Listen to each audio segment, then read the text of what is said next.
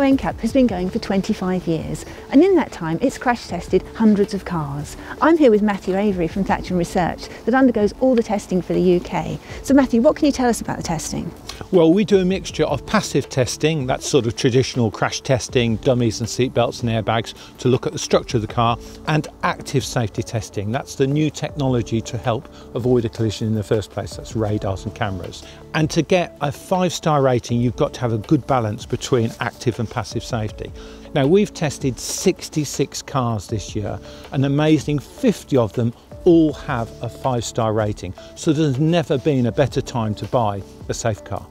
There are some expensive cars here, especially some of the pure electric models. Does that mean people have to spend a lot of money to get a safe car? You're right, uh, some of the electric vehicles are very expensive, but we've got two here that are actually bucking the trend.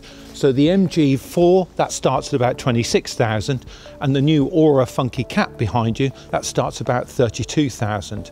So they're much more affordable electric cars. They're both good performance, they're both five-star cars. But one of the best cars of the year is actually a small electric vehicle, and that's the Smart Hashtag 1. Now that's got some of the best passive test figures that we've seen it's much more difficult for a small car to perform well in passive safety testing simply because there's less metal there to absorb the energy of the crash. So again, there's more and more choice around having a small electric vehicle that's affordable.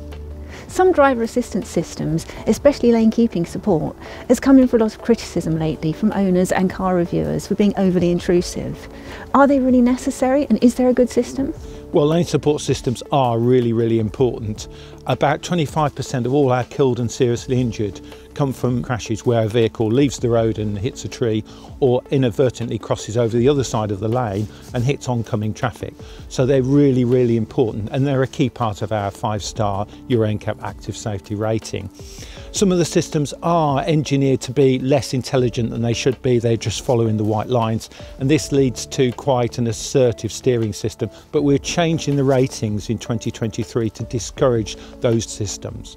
But there are indeed some systems on the market today which are very, very good. And a good example is here on the Mercedes EQE that softly supports the vehicle to keep it in lane whilst keeping the driver engaged in the driving task. So some manufacturers today can do a good job with lane support. So what are the other driver assistance systems people should be looking out for on their next new car? Well, a good example is here on the Tesla Model Y. This has got a very good AEB system, autonomous emergency braking.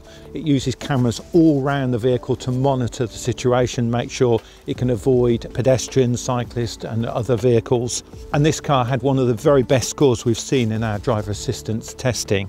The system also has a very good lane support system, so it's going to guide the vehicle gently around white lines so again, the driver assistance on this vehicle is absolutely top notch. So what about self-driving cars? How far has that technology come? Well, we still don't have self-driving cars in the UK yet, but what we do have are vehicles with assisted driving systems that support the driver with the steering and the braking and the throttle. And these two vehicles have both got those systems, but the Mercedes EQE has got a very good system that supports the driver gently but keeps the driver engaged. And driver engagement is the key part about keeping people safe. So now we've seen the latest technology in action, which one of these cars does everything well enough to be crowned the 2023 What Car Safety Award winner? Well, we've got 55 star cars, but there's one car that really, really stands out, and that's the Tesla Model Y.